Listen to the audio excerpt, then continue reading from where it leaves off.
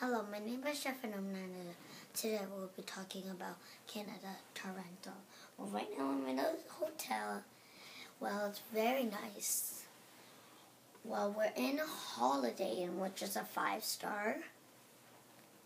We went to two museums and went to a shopping center, went to a buffet, went to an arcade, and I got 500 tickets something, and I got a lot of stuff.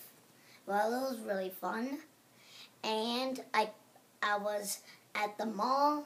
I went there was a movie theater which had the arcade, and my the best thing was um how I could play um how there was this freestyle drinking um, machine.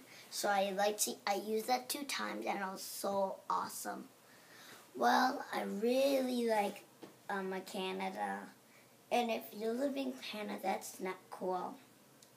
That's the word of the day. Peace out.